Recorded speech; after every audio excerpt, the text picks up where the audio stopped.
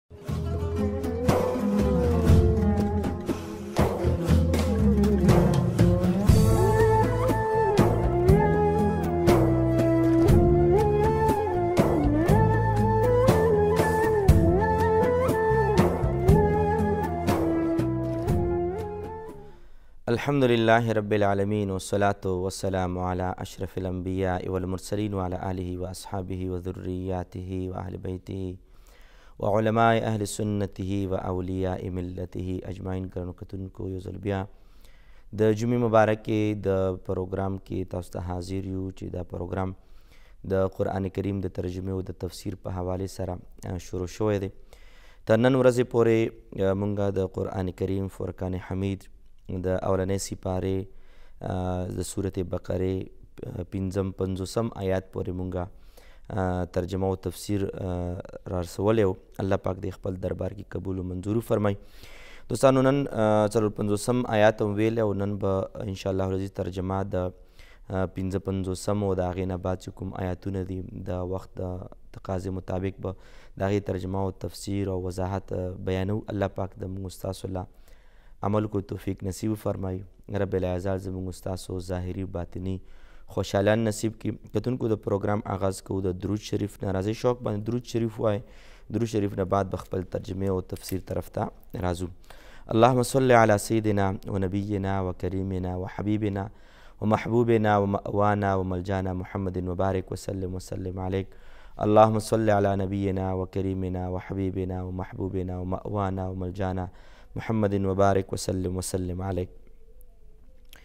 دوستانو الله پاک قرآن کریم فرقان حمید په سورت بقره آیت نمبر 15 پنځوسم کې ارشاد فرمایي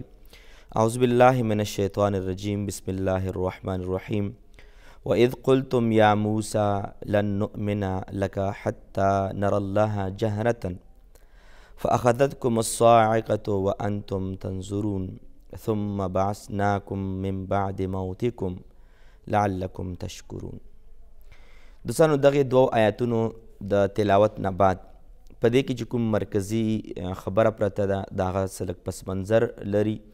د هغې په شا باندې دوه درې خبرې موجود دي د هغې د اوریدو نه بعد د دغه آیات په ترجمه او په معنا باندې به تاسو ښې طریقې باندې پوه شئ دوستانو لکه څنګه په تیره جمعه باندې مونږه دا خبره وکړه قرآن کریم د آیاتونو پرنا کې چې موسی علیه السلام چې کله کوهی تور للاړو او په کوهی تور کې تورات ورته ملاو شو نو دا دورانیه چالیس ورځې وه په دغه څلويختو ورځو کې بني اسرائیلو ډیر غټ جرم کړی و ډیر غټه ګناه ته سرزد شوی و او هغه دا چې هغوی د سخی عبادت شروع کړی و د غوا د بچی عبادت شروع کړی و او څلويخت ورځې او یا کم و بیش چې څومره اوقات او څومره ورځې وې په دغه چالیسو کې عبادت تسخی شروع کړو نو بیا رب العالمین ارشاد وفرمایلو چې فقتلوا انفسکم لکه څنګه تیر جمعه مونږ ګزارش کړو الله پاک وفرمایلو چې تاسو توبه به هله قبلیږي چې کله یو بل قتل کوي یو بل قتل شروع شو علما فرمایي څه او یا زره کسان یو بل قتل کو موسی علیه السلام رب ته فرمایي مولا دا چې دا قتل داسې رواني د خو به ټول خلک تباه او برباد شي خیر یا رب العالمین د دوی توبه قبول کا رب العالمین وحی فرمایلو بس نور قتل بند کئ ما د تاسو توبه قبول کړه څوک مړ شول توبه یې قبول ده او چې کوم باقی کسان پاتې دي هغوی توبه هم قبول شوه بیا لږ وخت بعد دوستانو دغه آیات ته راځم لږ وخت بعد موسی علیه السلام مبارک د خپل قوم اویا کسان، ملکان، مشران، اسر الرسوخ والا کسان یې راجمع کړل او ورته ویې ویل چې دا مونږ قوم څلوېښت ورځې د خدای پاک نه علاوه د سخي عبادت شوی، راځئ په جرګه باندې الله پاک ته ورځو. او الله پاک حکم دی چې جرګې باندې د کسانو د دغه عبادت او دغه قوم د سخی د عبادت ماته معذرت وړاندې کړي په جرګه کې موسی علیه الصلاۃ والسلام مبارک 70 کسان او یا کسان تیار کړل چې هغه دغه قوم مخوریس کسان د قوم ملکانانو چودریانو او داسې با اثر شخصیاتو چې هغه په قوم کې منلی شوي او اهم ګڼلی شوي شخصیات وو چې کله موسی علیه صلات والسلام مبارک په قیادت او په مشرانه کې د بنی اسرائیل د قوم او یا کسان روان شول کوه تور طرف ته نو دوستانو چې کله معذرت لپاره لاړل د ټولو نه اولنې کار دا وشو چې رب العالمین د موسی علیه السلام په زبان ورته وفرمایل سپینې جامې به واچوي غسل به وکړي او خوله باندې به روژه ونیسي خوشبويي عطر به ولګوي او هغه نه بعد به د ما ملاقات له راځي او یا واړه کسان په سپینو جامو کې ښایسته لباس کې او په خوله باندې روژه بدن باندې سپرې او عطر غرض دا چې بالکل صحیح لکه څنګه د الله پاک د شان ملاقات خو څوک کولی نه شي او نه هغسې څوک ځان تیارولی شي خو چې څومره د انسان وس کېدای شو ټول ستر کسانو ځان بالکل صفا سوترا برابر کوم موسی علیه السلام چې کله د رب العالمین سره پراز او نیاز کې شو نو دغه ستر کسان ناستی او خدای پاک وحی کوي خدای پاک هم کلام شو الله پاک خبرې شروع کړي د حضرت موسی علی السلام سره او طریقه به دا وه چې کله به الله پاک خبرې کولې نو دا کسان به په کوه تور کې ناستو او یا د کوه تور په خوله کې ناست و، یو وریځ به راغله، موسی علیه السلام به په دغې وریځ کې پټ شو، الله پاک به ورسره هم کلام شو، الله پاک ځکه ورته موسی کلیم الله وایي، الله پاک سره یې خبرې نه دي کړي، الله پاک سره خو موږ هم خبرې کوو په مانځه کې، الله پاک ورسره خبرې کړي دي، الله پاک خبرې اورېدلي. موسی کلیم الله معنا دا چې د الله ور سره خبرې کړې دي موسی کلیم الله مطلب دا نه چې موسی علی السلام الله سره خبرې کړې وي الله پاک سره موږ مونږ مونږ هم په مونږ کې خبرې کوو بهرحال الله پاک ور سره خبرې کړې موسی علی السلام سره او د موسی علی السلام خبرې الله پاک لازم خبره اوریدې الله پاک ورته خپل دا طاقت ورکو چې الله پاک خبرې واوریدې دوستانو چې کله خبرې واوریدې نو دا چې کوم ستر کسان یې بولي وو بني اسرائیل دی ویلی چې موسی علیه السلام تا باندې اعتماد او یقین نه کوو داسې چل وکړه چې موږ به د الله په خبرې اورو چې موږ معاف کړي دي موږ خو په جرګه باندې راغلو اوس موږ ته څه پته لګي چې تا ته الله پاک وفرمایله او که نه چې دا بني اسرائیل ما معاف کړي دي او دا جرګه ما ته قبوله او منظوره ده بهرحال موسی علیه السلام ورته وفرمایل چې دا د الله پاک شان دی چې چاته خوښه شي خبرې کوي خو بهرحال د هغوی په اقرار او په اصرار باندې رب العزال خالق کائنات دغه خلکو لم دا توفیق ورکو موسی علی السلام سره خبرې کولې الله پاک الله پاک موسی علی السلام سره خبرې کولې او دا خبرې هغه خلکو واورېدې د الله پاک کلام هغه خلکو هم واورېدو. هغوی ته کلیم الله ځکه نه شي ویلی چې الله هغوی سره خبرې نه وې کړې، صرف الله خبرې یې اورېدلې تبارک و تعالی. کلیم الله ورته دې وجې نه ویلی شي چې الله پاک ورسره موسی علیه السلام سره خبرې کولې، صرف د الله پاک خبرې دغه ستر کسانو هم واورېدې. چونکه سبحان الله د الله پاک د خبرو د اورېدو چې کوم مټاس دی، د رب العزال د خالق کاینات د خبرو چې کومه مزه به وي، او ان شاء الله عز دا به په جنت کې موږ استاسو نصیب کیږي نو هغه میټاس او هغه خوند کې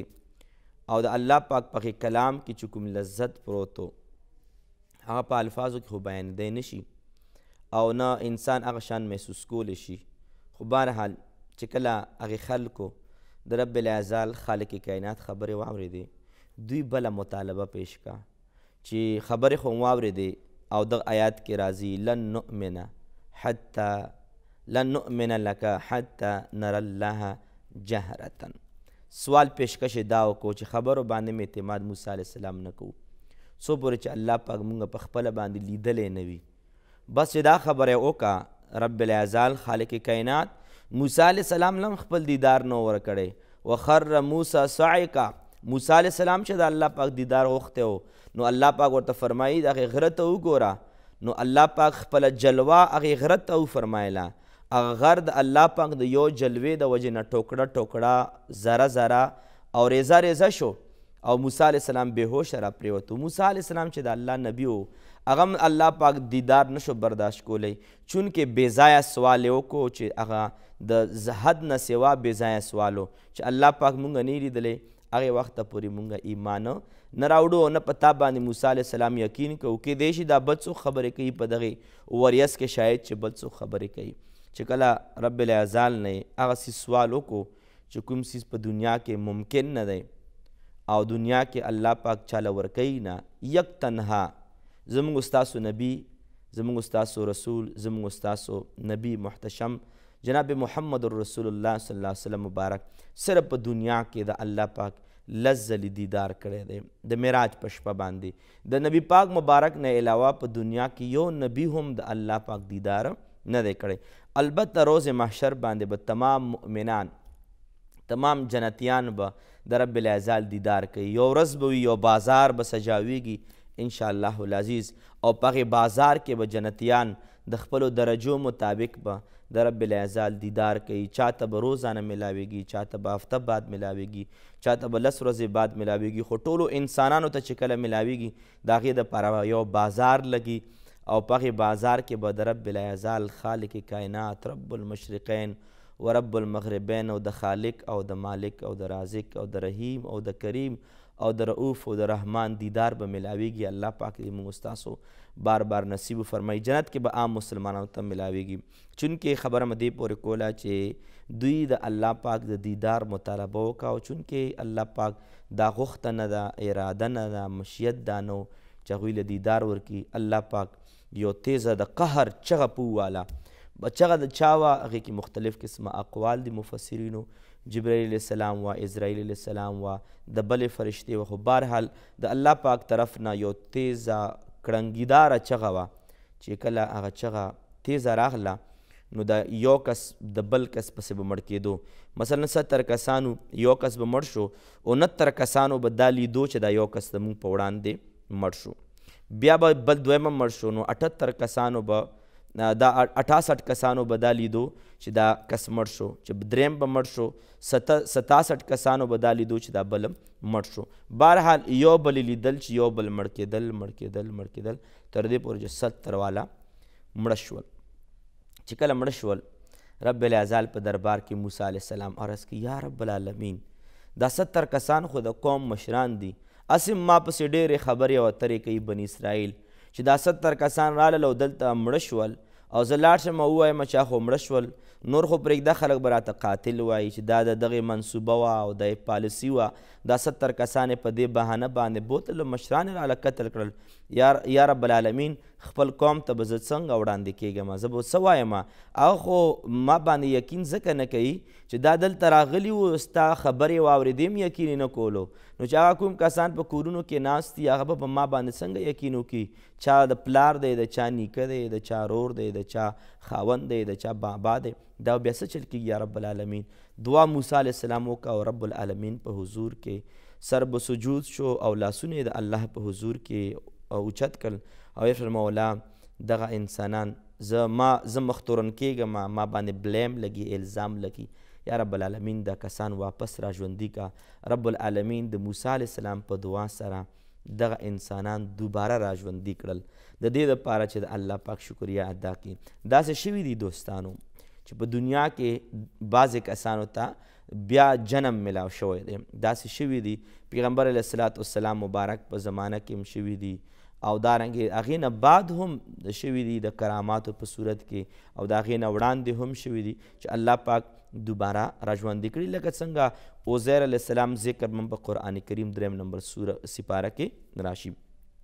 بهرحال او حضرت عیسی علیه السلام مبارک معجزه هم دا وه چې مړي به را ژوندي کول داسې شوي دی الله په خپل قدرت دی څوک ژوندي کوي او څوک مړه کوي او څوک دوباره را ژوندي کوي الله الله پاک عظیم قدرت دی خپل خدایي ده خپل اختیارات دي بهرحال دغه لوی تفصیل ما تاسو ته بیان کو په دغه دوو آیاتونو سورت بقره آیت نمبر 55 او آیت نمبر 56 کې الله پاک قران کریم کې ارشاد فرمایي څومره څومره خويندو رونو مشرانو کشرانو قران کریم کولاو کړی وي نو دغه آیاتونو مبارکه باندې نظر واچوي او الفاظو ترجمې ته او معنا ته وګورئ چې په دې آیاتونو مبارکو کې تاسو ته څه پیغام ملاویږي الله په قران کریم کې فرمایي اعوذ بالله من الشیطان الرجیم بسم الله الرحمن الرحیم واذ قلتم او یاد کا هغه وخت قلتم چې تاسو وویل یا موسی اے موسی علیه السلام هغه ستر کسانو ویل موسی علیه السلام ته لن نؤمن لک تا باندې مونږه یقین نکو حتی هغه وخت پورې نر الله چې مونږه ووینو الله جهرتن ښکارا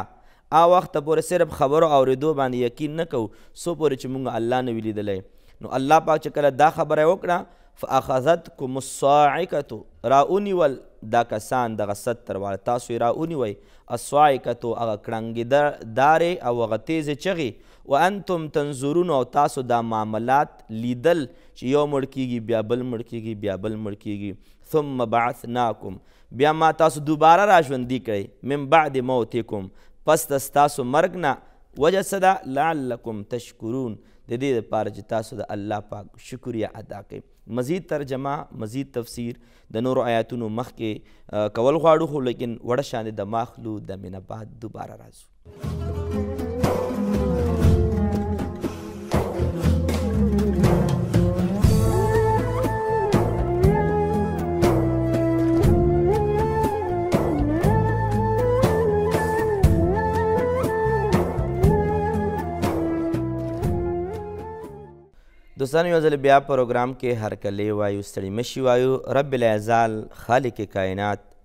د قرآن کریم د رڼا او د فیض او برکت په خاطر باندې زموږ استاسو ژوند کې د قرآن کریم رڼا راولي د الله او د الله د رسول د اطاعت زندگی زموږ استاسو باندې تیر کړی کی موږ ترجمه او تفسیر کولو د آیت نمبر 54 او 55 اوس آیت نمبر 55 او د 56 نمبر اوس آیت نمبر 57 نمبر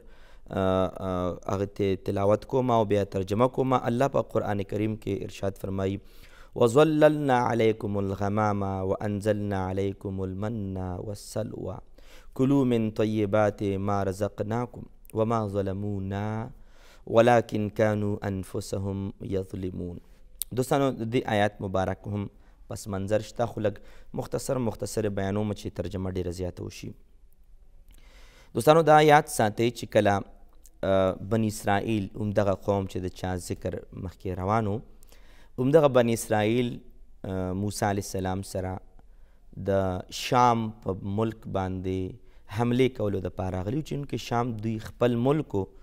خو کوم جبابره او کوم عمالقه هغه په هغې ځمکه شام باندې قابض الله پاک ورته وفرمایل تاسو خپل ملک باندې حمله وکړئ ولې هم پرېښودی دی دا ستاسو ملک دی ورشه ورته دوستانو چې کله هغې ځای ته ورتلل نو په دې آیاتونو کې دغې طرف ته اشاره ده چې الله پاک ورته ارشاد وفرمایلو چې تاسو لاړ شئ او جهاد موسی علیه السلام سره وکړئ چې کله هغوی روان شول او روایتو کې مفسرین فرمایي چې دوی ته پته ولګېده چې د موږ په ملک شام باندې څنګه حمله وکړو، هلته خو دومره لوی لوی اوږده اوږده خلک دي او د هغې مطابق راځي چې موسی علیه صلات والسلام مبارک څه کسان ولېږل او هغې ذکر قرآن کریم کې شته دی مخکې به راشي انشاءالله خو لیکن د دې آیاتونو د پوهې دپاره مختصر عرض کوم کسان یې ولېږل موسی علیه السلام مبارک چې وګورئ چې دلته څه صورتحال دی د خلکو حالاتو واقعاتو کتو د پاره چې هغه شان پلانینګ وکړي بیا حمله وکړي چې کله کسان ولېږل نو یو کس روان او مفسرین فرمایي چې د هغه د لرګو پڼ جوړ کړی و پنډ او په سر باندې ایښودی و دا چې کوم باره کسانو ورلېږلي وو نو دا دومره د هغې کسانو پورې واړه وو چې د باره واړه کسان یې داسې راوچت کړل په لاس کې او خپل پنډ د پاسه یې کېښودل بس تاسو دې نه اندازه ولګوئ چې د دغه موسی علی السلام بار کسان نقیب چې کوم کسانو لیږل شوی دا د د یو پند د پاسه ناستو دا د الله پاک مخلوق ته دومره لوی لوی خلک هم تیر شوی دي چې کله هلته لاړل نو دوی ته پته ولګېږي دا خو د موږ جاسوسۍ دپاره راغلي دي نو هغه خپه اوچته کړه چې دا باره واړه کسان په خپه باندې مړه کړم ښځه ورته وایي چې نه دا چې مړه کړي نو هغوی خلکو ته به پیغام څوک رسوي چې دا دارنګې زورول خلک دلته اوسېږي نو هغه پر واسپس پرېښودل چې کله راغلل نو قوم ته وایي دارنګې اوده اوده خلک دي او دا دې سره مقابله څوک کولی شي لهذا هغې بني اسرائیلو قوم موسی علیه السلام ته وویل چې فذهب انت وربک فقاتلا بس مونږه د خلکو سره جهاد نشو کولای ته او د ستا خدای لاړ شي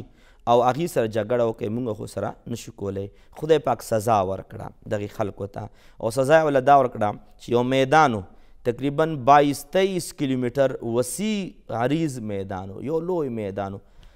تقریبا 22 علما فرمایي چې چې فرسخ او 5 یا چې فرسخ او یو فرسخ تقریبا 3 میله وی حساب کتاب 20 22 تر 25 کیلومتر پر یو لوی میدانو الله پاک په دلته دوی را ایثار کړل را ایثار یې څنګه کړل چې دوی به روان شول چې مونږ بس اوس خپل وطن طرف ته ځو چې کوم ځای نه به سهار روان شول چې کله ځای کې به ودرېدل لس کیلومتره پنځلس کیلومتره شل کیلومتره مزل به یې په یو ورځ کې وکړو نو چې کله چېرته به ستړي شول وده به شول راویښ به شول اومغه ځای کې به پراته وو د الله په حکم سره چې کوم ځای نه آغاز د سفر کړی وو الله پاک څلوېښت کاله چالیس سال په دغه يو ميدان کې دوی له ژوند ورکو چرته به روانېدل سهار به راويش نو مغ ځای کې به وو نو په دغه يو ميدان نه دې ته ميدان تيه وايي دغه ميدان کې چاليس سال دغه قوم تېر کړل موسی عليه السلام هم ورسره و او حضرت هارون عليه السلام هم ورسره و په دغه موقع باندې څلوېښت کاله تېر کړل نو موسی عليه السلام مبارک له راغلل نو موسی عليه السلام ته وایي چې ای موسی عليه السلام مونږ د خوراک څه انتظام وي دا خو مونږ چې زو او دلته خو ډاګه ده دا خو یو پټی دی یو میدان دی دلته خو سم نشته دی نو الله پاک بیا هم ګورې په دغه ظالمانو باندې نافرمانو باندې عاصیانو باندې ګناهګارانو باندې احسان او نعمت ته ګورې چې نافرمانی مو کا خو الله پاک په دغه جیل کې راګیر کړل خو الله پاک د هغې خوراک انتظام په من او په سلوا باندې وکړو من او سلوا من داسې ترنجبین ورته وایي او داسې د شادو په شان د خوږ شیریني وه خوږ سیز الله پاک نازل کو چې سر به راویشول په ټولو بوټو باندې به د پرخې په شان دی د شبنم په شان دی به پرته وه په ټول بس خلکو به راوسته خوړه به اغیزا وه او ورسره سلوا الله پاک نازل کړ سلوا متعلق علما فرمایي بعض علما وایي چې بټیرو بټیر او دغه بټری چې دا به یا ولا پخ کړی شوي راتلل او یا په ژوندي به ولا راغلل دوی به ذبح کو ځان د پاره به پاخه کړل مختلف قسمه موږ ته پښتو کې مړزان وایو نو مړزان او دغه شاد الله پاک ورته نازل کړل نو رب العزال خالق کائنات څلوېښت کاله دا سیزه دوی وخوړو او بیا دوی ناشکری وکړه او بیا د هغې ذکر هم انشاءالله العزیز مخکې آیتونو کې به راځي بهرحال دا یو پس منظر دغه آیات مبارک چې الله پاک په میدان تیه کې را ایثار کړل او د میدان تیه کې د خوراک انتظام نو د دې دپاره رب العزال انتظام وکړو من او سلوای راولېږل او مړزان او دارنګې شاد ګبین شاندې راولېږلو نو لهذا هغه کې هم دوی نفرماني وکړه د هغې تفصیل هم ډېر زیات خو مختصر ده ذکر رب العالمین آیت نمبر چپ ستاون کې او پنځوسم نمبر آیت کې الله پاک ارشاد فرمایي وظللنا او موږ سورې وکړو علیکم په تاسو باندې ای بنی اسرائیلو الغمامه د وریځو وریځو سورې موږ کو تیز نور به وریځو سورې به پراغې دوی به سیف کړل سیفټي به ورته ملاو شوه وانزلنا علیکم المن وانزلنا او موږ نازل کړل علیکم په تاسو نازل کړي دي علیکم په تاسو باندې المن من وسلوا او سلوا من وسلوا ومغشات او مړزان الله په فرته فرمای کلو خوري من طیبات د پاکو ما هغه سنا رزقناکم چې ما تاسو ته درکړي الان کې به دوی به دوی به سټور کول چې پته نه لګي چې نن الله پاک راوست داسې نه سبا نه نو دوی به شپې ځان سره سټور کړل چې سبا داسې نه چې نه بیا به څه خورو دارنګ سټور کول شروع کړل شروع کړل شروع کړل چې کوم به سټور کړ به تخصخا شول خراب شول الله پاک دا سلام ته بند کړه ځکه دې آیات کې اشاره کوي ما ظلمونا الله فرمایي مونږه ظلم نو کړي ولكن كانوا انفسهم يظلمون او وما ظلمونا په موږ باندې دوی ظلم نه وکړي ولکن كانوا انفسهم يظلمون بلکې دوی په خپل ځانونو باندې ظلم کړي یعنی مطلب دا انسان چې ناشکری وکي او نعمت کم شي ناشکری په صورت کې د انسان اسباب وسایل ذرای معاش دا کم شي په دې کې انسان د پاره نقصان دی خدای پاک د پاره خو نقصان نه انسان ځان سره ظلم کوي الله پاک سره خو څوک ظلم نشي کولی دوستانو چې کله دې ځای پورې خبره راورسېده بل سټیپ د دغې واقعې د قرآن کریم د دغه حکمت نه ډکې او د حکمتون نه ډکې واقعې بل سټیپ دا و دوستانو چې د دې هم لږ مختصر پس منظر دی او هغه دا چې الله پاک ورته وفرمایي چې تاسو شام ته داخل شئ یا بیت المقدس ته داخل شئ یا بل علاقه و اریحه دغه درې څلور قسمه اقوال مفسرین فرمایي تاسو ښار ته داخل شئ خو چونکې ښار ته چې الله پاک د داخلېدو کوم طریقه او کوم ترتیب وښودو هغه دا چې الله پاک ورته وفرمایي چې کله تاسو داخلېږئ نو تاسو د شکرانه او دوه رکعات نفل وکړئ سجده په حالت کې سجده حالت مختلف علما مختلف تفسیر بیانوي خو تاسو په سجده په حالت کې یو نفل وکړئ الله پاک ته سجده ولګوئ او د شکرانه سجده ولګوئ د بخنې سجده ولګوئ او داخل شئ او چې کله مثلا دغه ښار ته داخلېږئ ښار ته تاسو کله داخلېږئ داخلي دوران کې د مغفرت د شکر سجده ولګوئ یا نفل وکړئ مفسرین فرمایي او هغې نه بعد چې کله داخلېږئ په خوله باندې دا وایئ حطتن حطتن حطتن حطتن معنا یا الله ما وبخې یا الله مونږ ګناهونه معاف کړي یا الله مونږ وبخې یا الله مونږ وبخې څلوېښت کاله م تېر کړل خپلو نا فرمانو د وجې نه جهاد مو نه کو دا ګناهونه او دا او دا او دا الله پاک ته خو ټول معلوم او دغه انسانانو ته معلوم نو رب العزال خالق کائنات دغه مصر د شام یا بیت المقدس یا اریحا دغه خار ته دننه کېدو چې کوم طریقې کارو هغه داو چې سجده به لګوي او په خوله باندې به حتوتون وای حتوتون دوستانو چون کې بس نفرمانی الله پاک موږ ته وساتي او بیا نفرمانی باندې چې کوم انسان ودرېږي الله پاک د موږ دې نه وساتي دوی عجیبه کار وکړو عجیبه کار دا وکړو چې دوی د حتتون په ځای باندې چې حتتون معنا ده یا الله موږ معاف کې یا الله موږ وبخې یا الله مغفرت ته مو کې دوی ویل حنتتون د ح نه بعد نون یې ورسره زیات کړو، حنطة، حطة په ځای باندې ویل حنطة او حنطة ویلی شي غنمو ته، غنمو ته. دوی چالیس سال په بټیر او په مړزانو او په دغې سیزونو باندې تیر کړي او دوی خامخا چونکې غنم د انسان فطرت ته خوښې وي نو دوی ویل چې نه دا څلوېښت کاله مونږ داسې تیر کړل مونږ له غنم راکه یا الله مونږ له غنم راکه مونږ له غنم راکه رب العزال خالق کائنات غوسه کې شو رب العزال دوی نه فرمانه باندې عذاب نازل کو چې یو طرف ته ستاسو څلوېښت کاله عذاب تیر کو او اوس مو څلوېښت کاله بعد رهایي درته میلاو کا اوس تاسو په دغې ښار باندې را داخلېږئ او څه به وشي که انسان وایي چې حتتن یا الله ما معاف کړي یا الله ما معاف کړي یا الله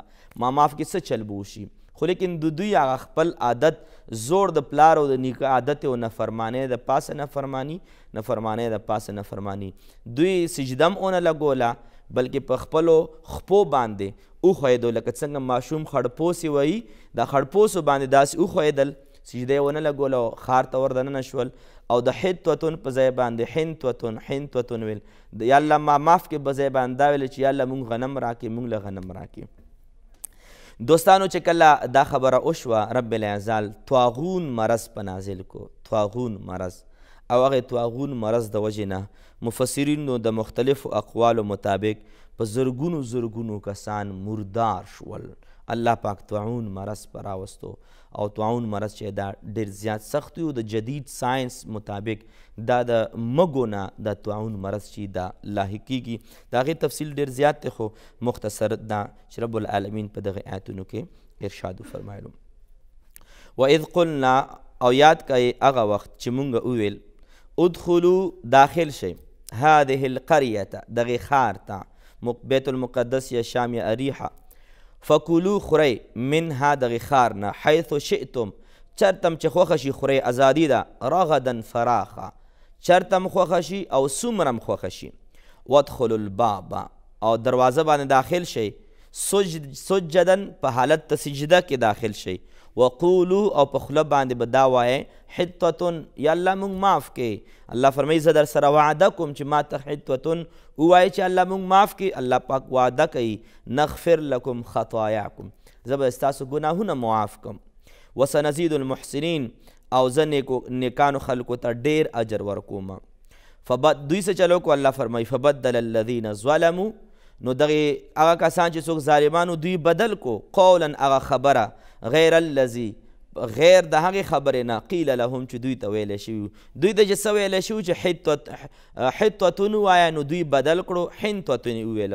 فانزلنا علی الذین الله فرمای مونږ نازل کړو په هغه کسانو باندې ظلمو چې ظلم یې کړو چې مونږ داخل کو رجزن عذاب مونږ داخل کو عذاب طاغون مرض الله پاک د مونږ مرض مرزونو نه وساتي من السما اسمان طرف نه وجسوا بما كانوا يفسقون د دې وجنه چې دوی د الله نافرماني کړې وه. دوستانو مزید تفسیر او ترجمې د پاره به د مینا بعد دوباره حاضرېږو هغه وخت پورې السلام علیکم ورحمت الله وبرکاته.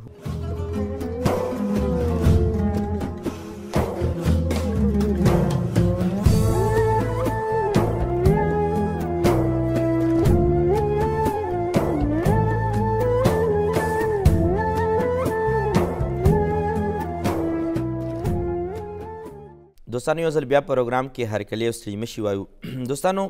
مونږ د شپېتم نمبر آیات ترجمه او تفسیر بیانو او مخکې هم تر 61 او یو شپېتم نمبر آیات طرف ته به مونږ ان شاء الله العزیز ځو خو د دې نه وړاندې چې دغه دواړو آیاتونو زه لږ مختصر غوندې وضاحت تاسو ته وکړم لکه څنګه مخکې آیاتونو والا وشو دوستانو چې کومه ذکر ما وکړو چې میدان تیه بنی اسرائیل ته اوسېدل چونکې دا ټول رکوګانې د دغې بنی اسرائیلو د باره کې دي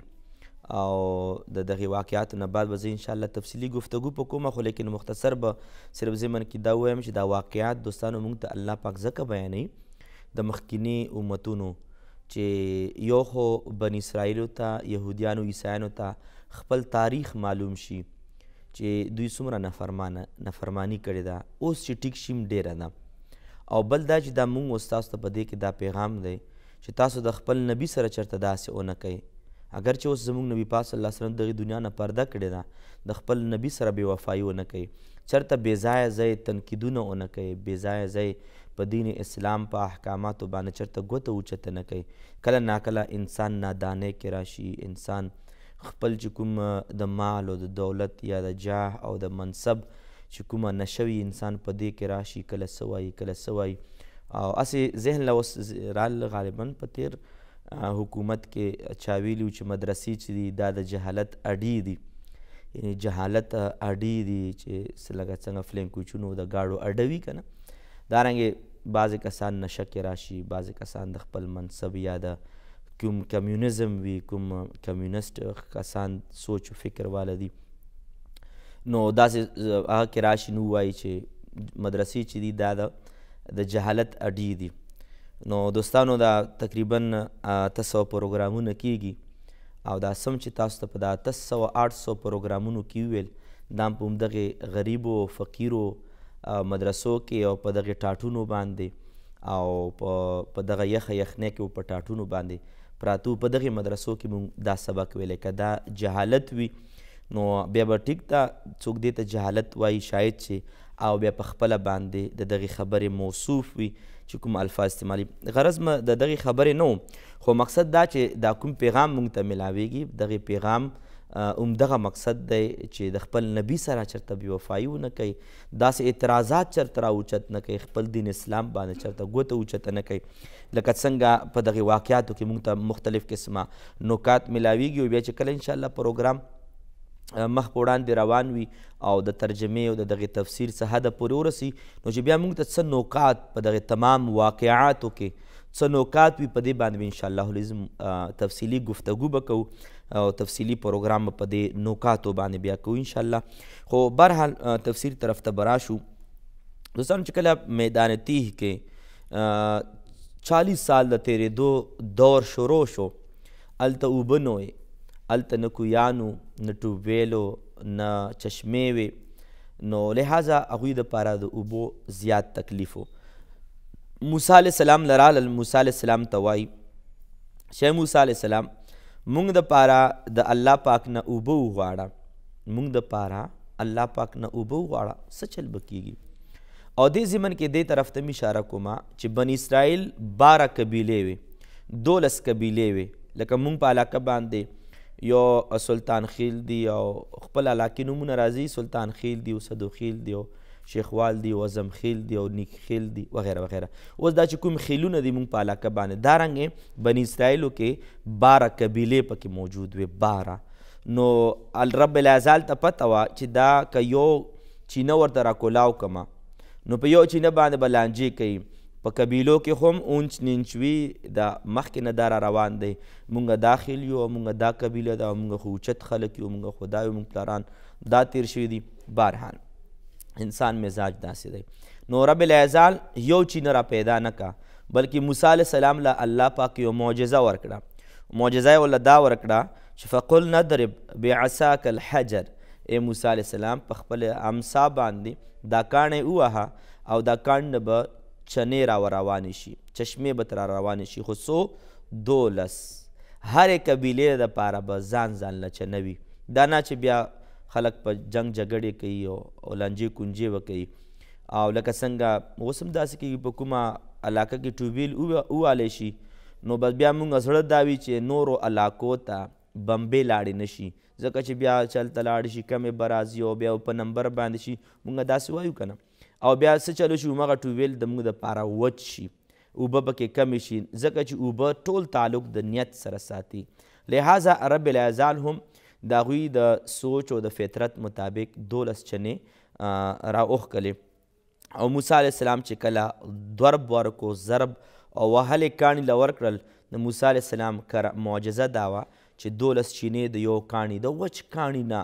دولس چینې را بهر شوې او هر يو خېل او هرې قبيلې به د خپلې خپلې چينې نه چې کومه ورته معين کړې شوه، خاص کړې شوه، د هغې نه بې اوبه وړې او خپل ضروريات بې پوره کول. او د کپړو متعلق کې راځي چې دا خو څلوېښت کاله هلته وو، نو علماء وايي چې کومې کپړې يې اچولې وې، نو چې څومره به انسان غټېدو، که نارينه وې او که زنانه وې، د الله پاک قدرت دا و چې څومره غټېدل انسان، همدې مطابق به ورسره کپړې هم غټېدې. دا د الله پاک احسانات وو او دغه لپاره قرآن کریم کې ذکر کوي چې يهوديانو عیسایانو تاسو ولې زما حبیب نه مانئ زما ولې قرآن نه مانئ ما ولې جناب محمد رسول الله صلی الله باندې ایمان ولې نه راوړئ ما خو در سره دومره لوی لوی احسانات کړي وای نه فرمانه خو بیا هم در باندې نعمتونه نازلول او کپړې به وې هغه کپړې چې ماشوم به و نو ماشوم به ځوان شو لوی به شو څلوېښت کاله به تیر شو نو د هغې د سایز مطابق په کپړې هم غټېدې د الله پاک قدرتونه دي او اوبه هم هغوی ته ملاو شوې دا مسله هم حل شوه او خوراک من او سلوا ورته ملاو شي دا هم د الله پاک بغیر د کوشش نه، بغیر د دیاړۍ نه، بغیر د آفس تګ نه، بغیر د کاشتکارۍ نه، زمیدارۍ نه ورته هر څه فري ملاویدل اسانه باندی اوبه هم ورته په اسانه باندی ملاو شوې خو هغې باوجود هم الله پاک ورته فرمایی چې ولا تعثوا فی الارض مفسدین تاسو په ځمکه کې فساد مه کوئ. ځمکه کې فساد مه کوئ، ځکه چې ځمکې فساد چې دی دا د ټولو نیکیانو د پاره جړ دی، ختموي هره نیکي ختموي، ځکه چې فساد راشي لکه څنګه زمونږ په وطن باندې داسې څه یو لهر تیر شوی الله پاک دې بیا مه راولي او څه وي الله پاک دې ختم کړي د خپل حبیب او د خپل قران کریم په توفیل او تصدق سره چې کله امن نو جمعې منځونه به مونږ کول د هغې تعداد ما ته اوس هم سترګو کې یادېږي چې ما د جمعې په ورځ باندې څومره تعداد ناست وو او چې کله حالات نو خراب ما ته به جمعې لمونځ کې څومره تعداد وو چې کله خراب شول څومره تعداد وو او اوس چې الحمدلله امن شو اوس څومره تعداد دی نو لمونځ څومره اهم عبادت دی د دې دپاره د عمرې د تګ راتګ د حج د تګ راتګ دارنګې هر یو نیکۍ دپاره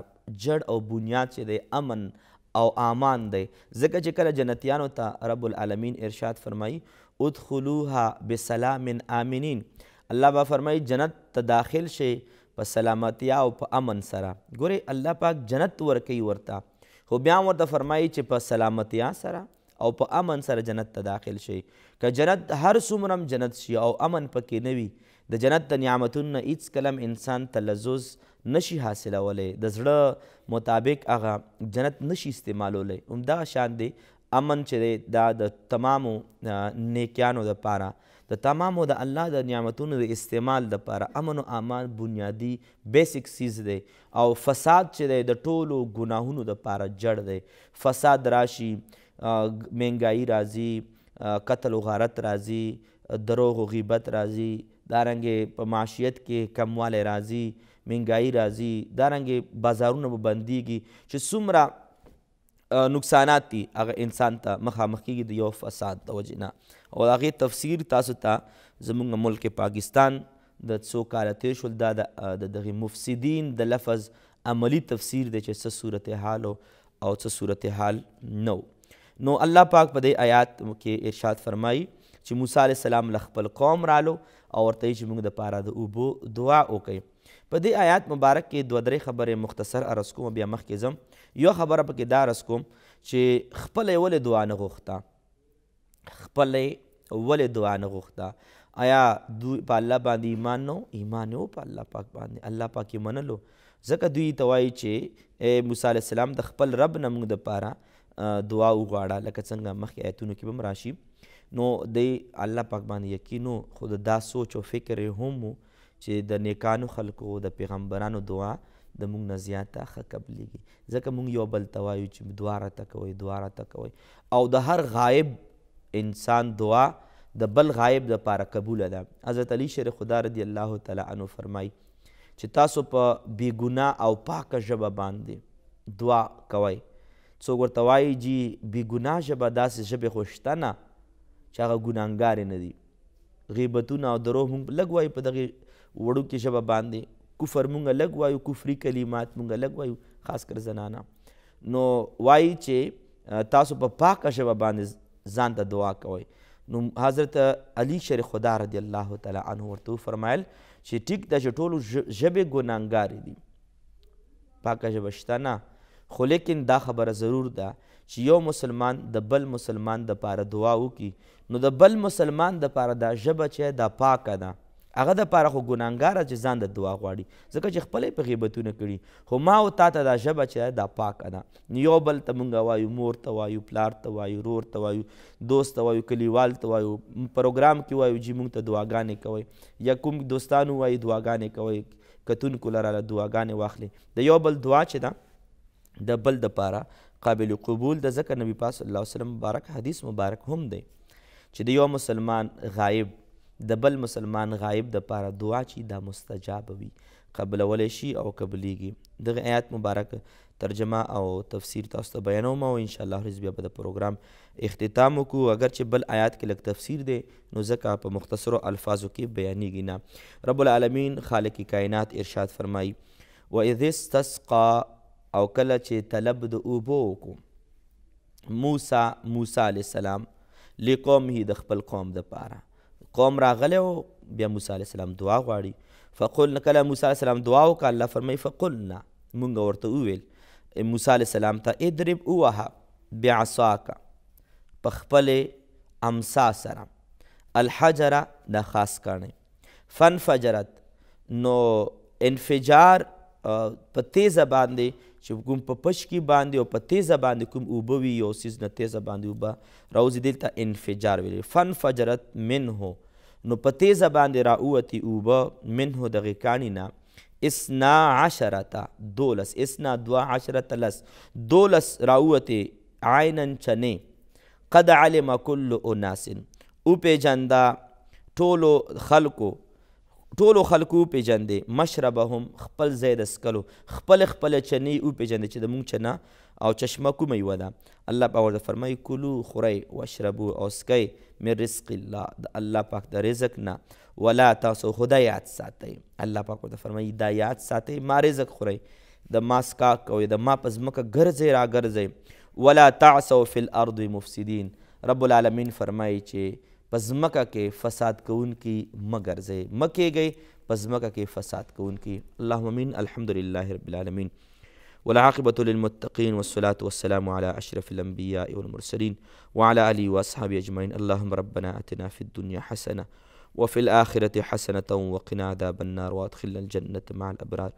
یا عزیز یا غفار یا رب العالمین یا رب العالمین زموږ ټولې دعاګانې قبول او منظور فرمای یا رب العالمین موږ نه داسې راضي شي چې بیا ناراض نه شي یا رب العالمین زموږ ټول مسلمانانو کتونکو دعاګانې قبول کې حاجتونه پوره کې اللهم صل علی سیدنا و مولانا محمد و آله و اصحاب اجمعین